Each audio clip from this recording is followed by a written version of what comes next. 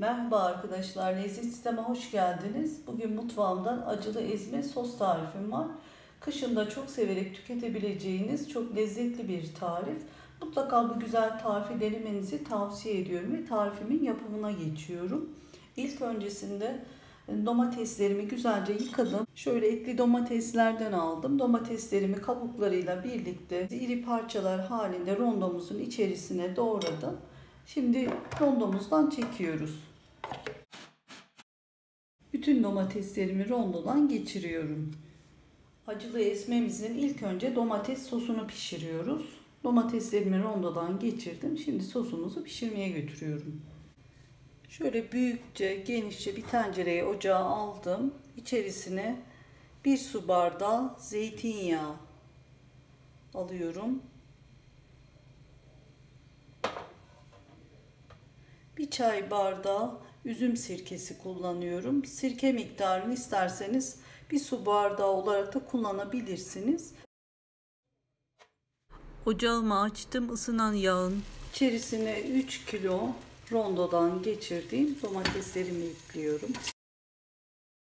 Domates sosumuz orta ateşte kıvam alana kadar ara ara karıştırıyoruz ve kaynamaya bırakıyoruz. Domates sosumuz ocakta kaynarken e, biz de bir taraftan diğer malzemeleri e, rondodan geçireceğiz. Kapya biberlerimi temizledim. İçinin çekirdeklerini çıkardım. İri parçalar halinde doğradım. Biberlerimizi rondodan geçirdik. Şöyle bir kabın içerisine alıyorum. Kapya biberlerimizi de bir kenara alıyoruz. Şimdi acı olan acı tatlı karışık olarak kullandım. 250 gram yeşil kıl biber kullandım. Saplarını alıyorum. Çekirdeklerini çıkarmadan iri iri doğruyorum. Biberlerimizi de rondodan geçiriyoruz.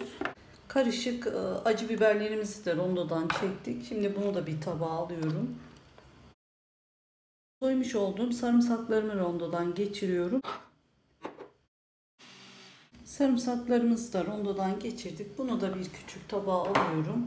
Sarımsağımız da hazır. Maydanozları da ince ince doğruyorum. Bütün malzememiz hazır şimdi.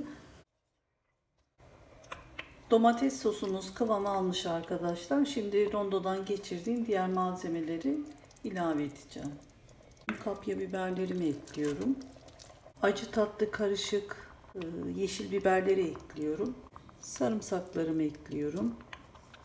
Maydanozumu ekliyorum. Hepsini şöyle bir karıştırıyorum. Bir 10-15 dakika kaynatacağız. Ezme sosumuz 10 dakikadır kaynıyor. Şimdi içerisine tuzunu atacağım. Böyle bir yemek kaşığı kaya tuzu ekliyorum.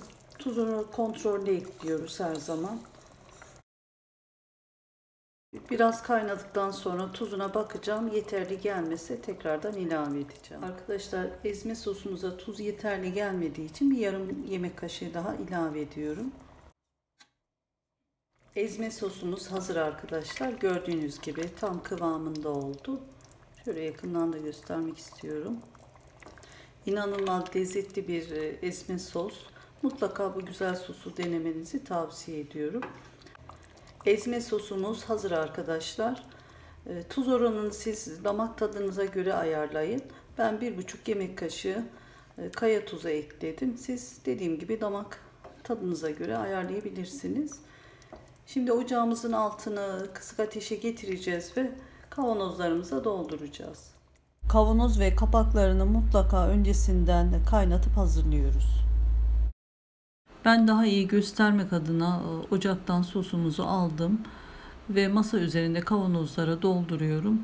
Siz ocakta kısık ateşte kaynarken doldurun. İyi vakum yapması için mutlaka kısık ateşteyken kavanozlara doldurmamız gerekiyor. Ezme sosumuzun bu kıvama gelmesi için ben tam 45 dakika kaynattım. Fakat e, domatese göre de değişebiliyor. O yüzden saate takılmıyoruz. Tarifimi de yapmak isteyenler için açıklamalar kısmına kullandığım malzemeleri ve ölçülerini de yazdım. Oradan bakarak yapabilirsiniz. Bütün kavanozlarımı doldurdum. Kapaklarını sıkıca kapatıyoruz. Kavanozun kapağını kilit noktasına getiriyorum ve sıkıca kapatıyorum. Acılı ezme sosumuz arkadaşlar gördüğünüz gibi hazır. Kapaklarını sıkıca kapattım.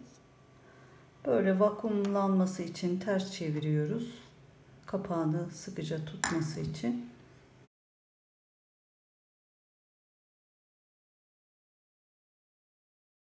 Şimdi vakumlanması için üzerinde şöyle kapatıyoruz.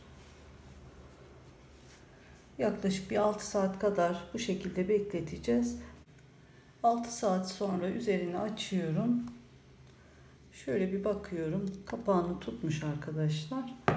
Kavanozun etrafında sızıntı yok. Bezde ıslaklık yok. Kapağını tutmasa tekrardan kapağını değiştirerek e, tekrar kaynatacağız sıcak suyun içerisinde. Bu şekilde tekrardan vakum yapmış olacağız. Görmüş olduğunuz gibi arkadaşlar acılı ezme sos tarifimiz hazır. Kışın afiyetle tüketeceğiz inşallah. Eğer siz de bu güzel e, sos tarifimizi denemek isterseniz mutlaka denemenizi tavsiye ediyorum. Ezme sosumuzu pişirdikten sonra görmüş olduğunuz gibi vakumladık. Vakumladığımız ezme soslarımızı karanlık, kuru, serin bir yerde bir yıl boyunca saklayabiliriz. Yemek istediğimiz zaman da kapağını açacağız. Buzdolabında e, muhafaza ederek tüketeceğiz. Kesinlikle bu güzel tarifi denemenizi tavsiye ediyorum.